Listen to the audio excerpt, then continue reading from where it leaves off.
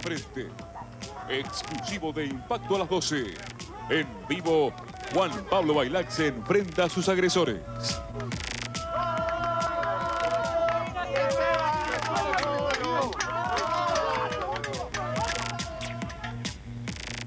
La Casa del Horror. En exclusivo, todos los detalles del sangriento crimen de Temperley.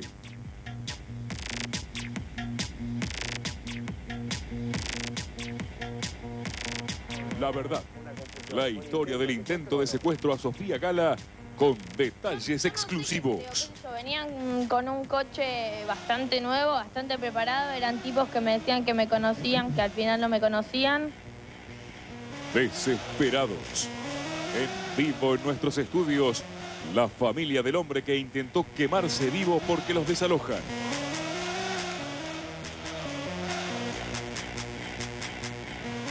Tensión. Móvil en vivo con los ahorristas del Bank que anunció su retiro definitivo de la Argentina.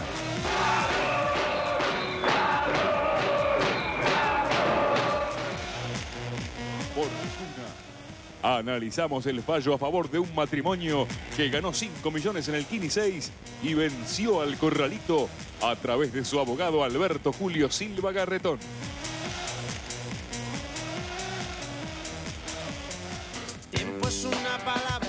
Están aquí, como dijimos, de Bahía Blanca han venido Marcelo Albarracín y José Lualdi, al revés, ¿no? Bueno, el gorrito blanco es Marcelo Albarracín y José Lualdi. Son dos de los hombres que ustedes vieron como prometimos en el video en el que agreden o se agreden con bailar, que vamos a tratar de dilucidar. No será un tribunal, pero trataremos de saber qué pasó.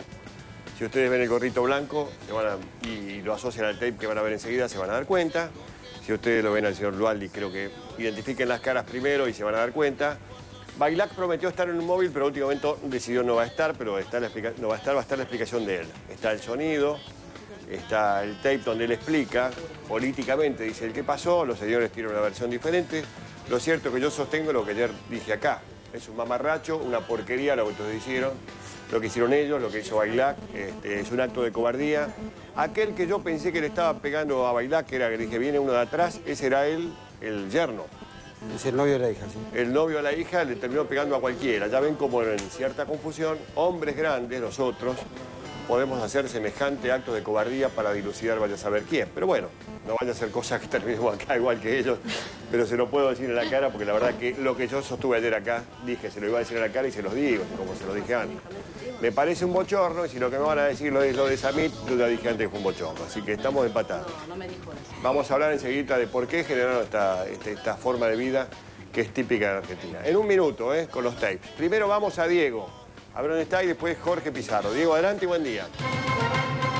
Buenos días, Mauro, y estamos aquí en Aedo, en el Instituto Almirante Brown, en el instituto donde desde hace dos años viene Sofía Gala eh, a estudiar. En estos momentos ella está dentro de este instituto. Ayer, al mediodía, apenas estábamos terminando el programa, nos enterábamos de una triste noticia que tenía que ver con un supuesto rapto de Sofía Gala el día sábado en las proximidades de su casa. Mauro, te cuento que lo que comenzó con un supuesto rapto, esto podría confirmarse dentro de un rato, te lo voy a decir, porque la policía pudo encontrar fotos, recortes de diarios y distintos artículos que daban a entender que estas personas que estaban merodeando la casa de Moria Casar en Parque Leluar tenían información sobre Sofía Gala, sobre Moria Casán y sobre los movimientos. Te cuento que en estos momentos la familia Casán está con custodia, de hecho a Sofía Gala la van a venir a buscar en un remis eh, que para aquí en la puerta y se la van a llevar hasta su casa, pero nosotros vamos a estar hablando por teléfono. Aquí muchos compañeros que saben de la noticia, que están con ella, mucha gente que conoce a Sofía Gala y que sabe, por supuesto, que está expuesta, como tantos otros eh, famosos, a estos secuestros express. Mauro, dentro de un ratito toda la información y toda la cobertura sobre este supuesto secuestro que hoy se estaría eh, Nosotros lo tratamos del lado policial. ¿En esa escuela está Sofía Gala ahora? Exactamente, Mauro. En esta escuela está Sofía Gala eh, y te vuelvo a repetir, vinimos hasta aquí por esto nuevo que sabemos de información policial que tiene que ver con recortes periodísticos y con todo lo que tiene que ver con un secuestro que sí podría eh, darse a conocer en un rato por la policía. A ver si se acercan. Eh, acércate con la cámara, sácala, sácala. Quiero preguntarle solamente aquí al portero que muy gentilmente nos permite entrar. Eh, Sofía Gala está dentro de la escuela, ha venido. hoy. Sí, vino. Vino temprano como de costumbre.